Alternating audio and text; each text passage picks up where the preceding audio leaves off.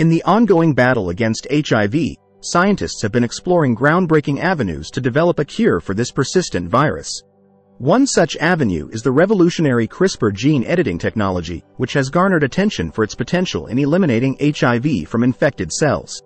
While the journey towards a definitive cure is still underway, several research teams around the globe are making significant strides in this quest.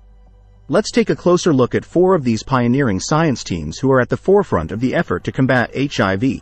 University of Amsterdam Team At the University of Amsterdam, researchers have achieved a remarkable feat by successfully eliminating HIV from infected cells using CRISPR technology.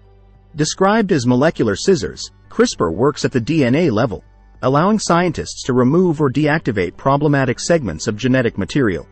Although this breakthrough represents a promising step forward, the team emphasizes that their work is currently in the proof of concept stage and much more research is needed before it can translate into a viable cure for HIV. Excision Biotherapeutics Another frontrunner in the race for an HIV cure is Excision Biotherapeutics, which has been conducting clinical trials involving CRISPR-based treatments. Encouragingly, their preliminary findings indicate that after 48 weeks, three volunteers with HIV showed no serious side effects from the therapy. However, challenges persist, particularly in addressing off-target effects and ensuring the long-term safety and efficacy of the treatment. University of Nottingham Team Dr. James Dixon and his team at the University of Nottingham are also exploring the potential of stem cell and gene therapy technologies in combating HIV. While acknowledging the promise of CRISPR-based interventions, Dr. Dixon underscores the need for comprehensive research to validate the effectiveness of these approaches in clinical settings. Developing therapies that can target HIV in the entire body poses significant challenges, and rigorous scrutiny of the findings is essential before moving forward. VIR 1388 Vaccine Trial In the quest to prevent HIV, a promising contender emerges in the form of the VIR 1388 vaccine. Currently undergoing its inaugural phase of testing, this vaccine aims to safeguard against HIV transmission by eliciting robust immune responses in healthy adults aged 18 to 55.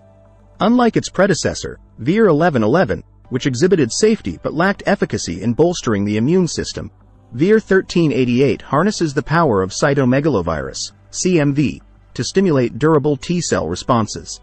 The trial, spanning across the United States and South Africa, is supported by renowned organizations such as the U.S. National Institute of Allergy and Infectious Diseases and the Bill and Melinda Gates Foundation. By evaluating the vaccine's safety profile, its ability to trigger immune responses, and its potential for long-term protection, researchers aim to assess its viability as a preventive measure against HIV. Global collaborative efforts.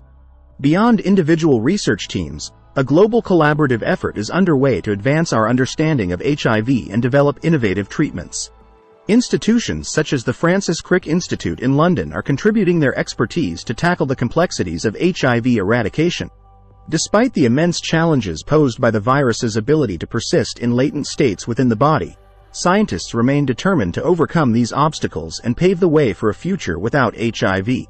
While the road to an HIV cure is fraught with challenges, each breakthrough brings us closer to achieving this ambitious goal.